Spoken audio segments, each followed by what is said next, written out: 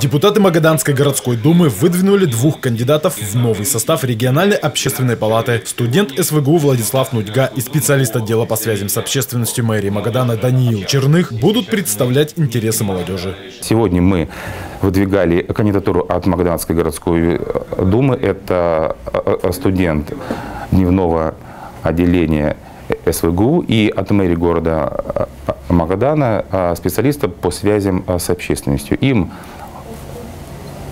возраст 20-22 э, года, они очень активные, коммуникабельные а, и молодые. Они будут представлять все интересы молодежи при Магаданской областной Думе. Представители общественной палаты участвуют во многих значимых сферах молодежи. Это поддержка в направлении труда и занятости, науки, образования, здоровья молодежи, культуры и спорта, развития волонтерского движения и в ряде социально-экономических и организационных мер, направленных на создание условий для успешной социализации и эффективной самореализации молодой группы населения.